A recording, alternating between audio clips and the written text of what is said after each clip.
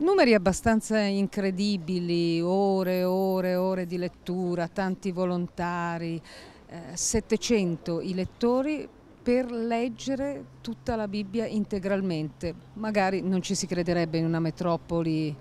così veloce come Milano, però si fa. Sì, beh, quello che si crede a Milano spesso è una lettura molto superficiale di come è la gente e quindi non è che mi impressiona tanto, ecco, sono contento però che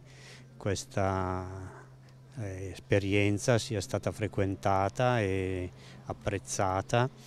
E mi pare ecco, che questo sia una dimostrazione che eh, la Bibbia è il, il libro dell'Occidente, è uno dei libri dell'Occidente di cui non si può fare a meno se si vuole